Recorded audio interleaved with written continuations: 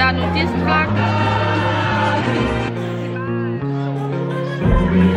Altså, man kan ikke trække vejret. I dag er det fredag den 26. maj, og jeg har den her hue på igen igen, for den lever jeg åbenbart i. Men i dag skal vi fejre Idas fødselsdag, og jeg glæder mig så meget. Ej, jeg har glædet mig så meget til den her dag. Det bliver så fedt. Jeg har det lidt ambivalent med det, fordi at det betyder også, at der ikke er så lang tid til, at jeg rejser. Ida har faktisk rigtig fødselsdag den 4. juni, men der er jeg jo taget afsted, så jeg er så glad for, at vi holder den her, inden jeg tager afsted. Jeg er lige kommet hjem fra arbejde. Jeg arbejder på en folkeskole som lærervikar, og så er jeg også fast i SFO'en for 0. klasserne i øjeblikket, hvilket jeg er mega glad for. Så nu vil jeg egentlig bare lige friske mig selv lidt op og skifte mit tøj, og så skynde mig ind mod byen og mødes med de andre piger. Vi skal ind til fællesspisning på noget, der hedder Absalon, øhm, som er et ret fedt koncept. Jeg har faktisk været der før med Ida også, og vi havde en vild sjov aften og mødte nogle nye mennesker. Men i dag er vi en gruppe på en del piger. Vi er en del af Idas veninder, både os fra gym og nogle fra studie og forskellige steder fra. Også nogle fra folkeskolen, tror jeg. Så det bliver bare vildt hyggeligt at være samlet. Ja, jeg glæder mig sindssygt meget. Jeg tror, vi får den bedste aften. Jeg ved faktisk ikke, hvad planen er øhm, senere, men jeg tror bare, vi tager det, som det kommer. Så nu vil jeg altså se at få skiftet tøj og se, om jeg lige kan friske mig selv lidt op. Der er også sådan vildt rodet i øjeblikket. Okay, jeg har faktisk prøvet at rydde lidt op. Men jeg er i gang med at pakke, som man kan se her. Øhm, og prøve at rydde sådan lidt op på mit værelse, så mine forældre kan bruge det til gæsteværelse. Det er lidt skørt det hele. Vi må se, hvad aften bringer. Nu vil jeg komme i tøjet. Og mit hår er mega irriterende, så jeg tror, jeg ender med at sætte det op, som jeg altid gør. Fordi jeg, når det er løst, så piller jeg alt for meget ved det, hvis jeg ikke har lagt mærke til det. Så jeg tror nok bare, at jeg sætter det op i en knold eller et eller andet. I får det at se. Jeg tænker faktisk lidt at tage den her top på, som jeg lige har købt på loppemarkedet til 30 kroner. Det var faktisk vildt billigt. Den bliver dynet her. Det eneste, der er med den, er, at den er virkelig, virkelig, virkelig stram. Og sådan det her, denne materiale, det er ikke den slags, der er lidt elastisk. Så jeg kan ikke få den på selv. Så jeg skal nok lige have hjælp til at få den her på. Og den sidder sådan... Efter noget tid sidder den meget godt, men i starten der sidder den meget stramt. Og så tænker jeg egentlig bare at have den på sammen med de her Levi's. Jeg synes, de passer sådan okay i farven. Jeg må lige prøve det på. Og så med en blazer ud over, og så tænker jeg at tage nogle lidt finere sko på, fordi det er jo en fødselsdag. Så det er planen. Det vil jeg egentlig bare forsøge at hoppe i nu. Held og lykke med den her til mig selv, siger jeg bare, fordi den er godt nok tight. Okay, så fik jeg gjort mig klar. Jeg synes egentlig, det er et meget cute outfit. Altså, jeg havde håbet, den var lidt kortere, men de er ret højtalige. De her jeans fra Levi's. Så det bliver sådan lidt... Det ligner faktisk lidt en, lidt en buksedragt. Men jeg synes egentlig godt, det kan noget, også med en hvid blazer over. Og jeg fik den her top på, det er seriøst. Altså, man kan ikke trække vejret de første 10 minutter, eller sådan noget. Min far måtte stå sådan og hive i den. Så det bliver spændende i aften, om den bliver siddende godt. Men lige nu er det lidt bedre, så det er meget nice. Nu vil jeg bare hoppe ned mod toget, og lige finde en blazer og nogle sko til på. Jeg har fået sat mit hår op i en bun. Den er sådan lidt messy, men øh, det er altså sådan, det de bliver. Så jeg vil hoppe ned mod toget. Hey Ida, der er også nogen, der flager for dig her. Nej, det er nok ikke for dig. Men tanken er der.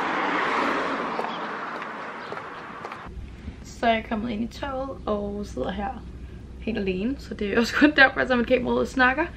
Og jeg har selvfølgelig taget en lille håndbejer med. Ej, det er lidt mærkeligt, men de andre er jo allerede inde i byen.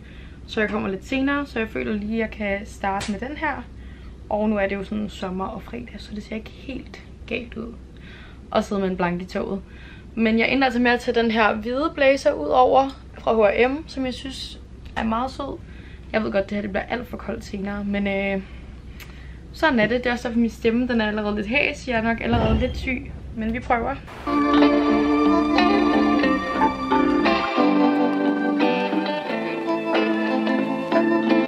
Jeg ligner et æg. Det var også en dårlig vinkel. Jeg kan jo ikke Nu filmer den, ja. Nu er jeg lige mødtes med to af pigerne. Så kan, du, så kan du ikke bare lade sådan noget. Prøv at se mit hår. vi er på vej over til Absalon, og Malle hun er vejviser. Ja, og jeg ved ikke, hvor godt det går. Ingen ved, hvor vi ender. Jeg regner lidt med, at hun bare står sådan og vinker ude foran. Jeg ved ikke. Jeg er sygt dårlig til at finde vej. Vi prøver at finde det.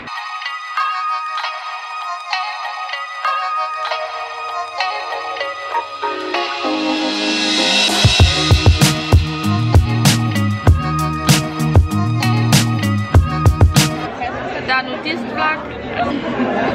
Jeg har ikke bare vi har, fået, vi har købt en flaske vin, men vi har fået de her glas til det.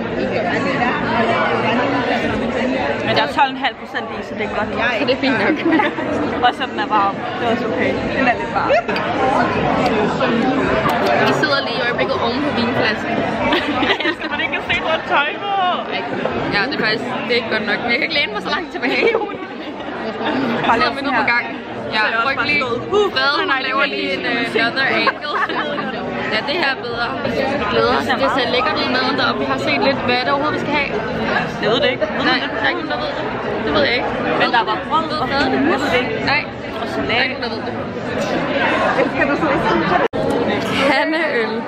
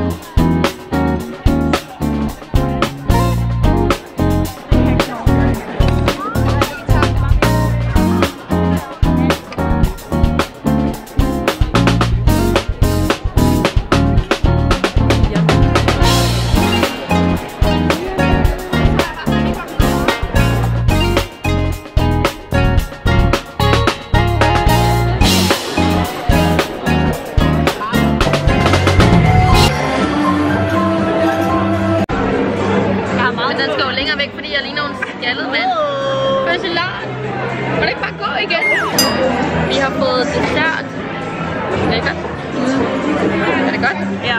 Kom herned. Vi skal bare rulle lidt ned i. Noget frygt. Man kan ikke gøre det, fordi man kan ikke se os. Man skal helt herned. Taste test. Kan den stå på cykler? Nå ja. Rødgrød med fløde. Nej, jeg har aldrig smagt det. Det smager lidt af syltetøj med fløde. Ja.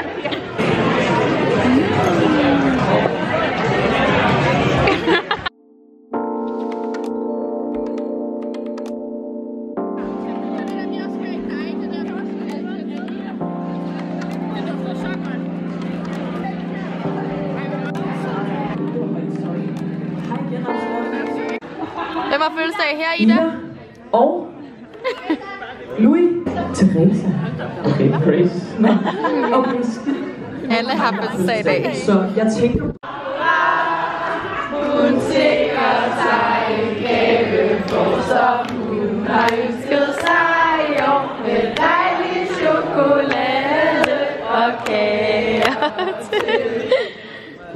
Hej, Eller du forsvinder ret meget. Helt fik plads og lidt i lyset. Det mig, der fødselsdag om en uge, og jeg har lige fået gaver af mine veninder. Og først så har jeg fået det her net, så har jeg fået det her cover. Det er jeg fucking glad for, det er rigtig sommeragtigt, mega nice. Så har jeg også fået de her sokker fra Planet Nusa i sådan lidt grønlige farver. Og en hvid.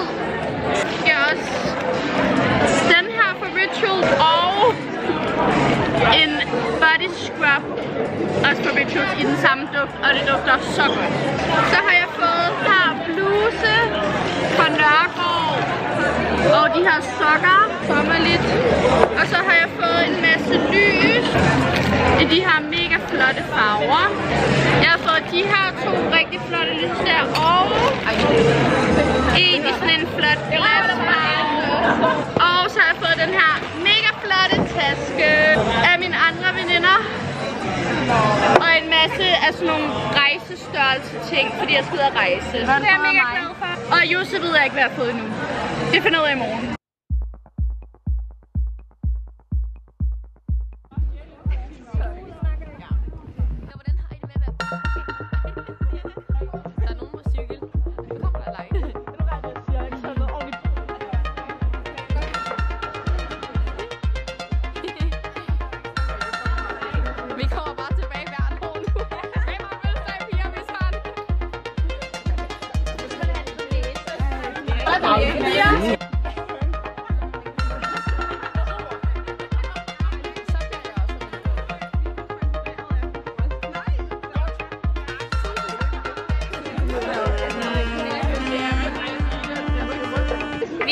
her shots gratis, fordi Ida har fødselsdag.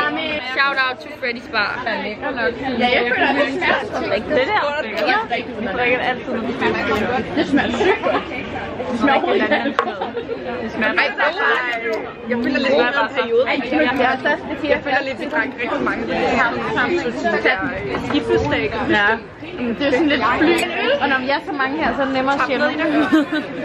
Jeg elsker, der er fodbold i baggrunden. Har det billede? Hvem spiller? Jeg ved ikke, hvem er det. Det er Det er løgn. Det er en kæmpe løgn. Du må skrive til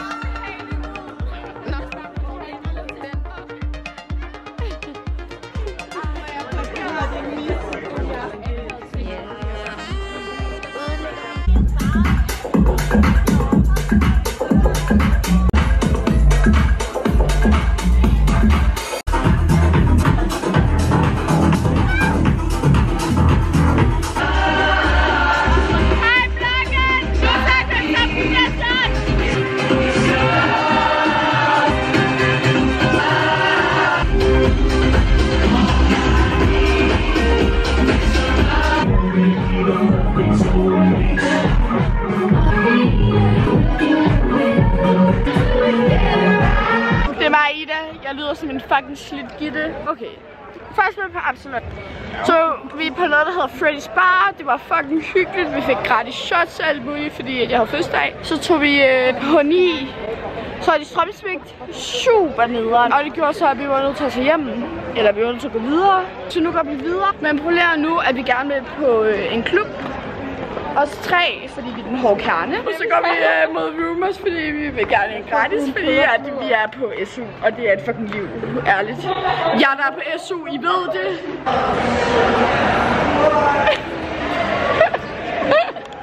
Jeg bliver til at Er I klar til SU?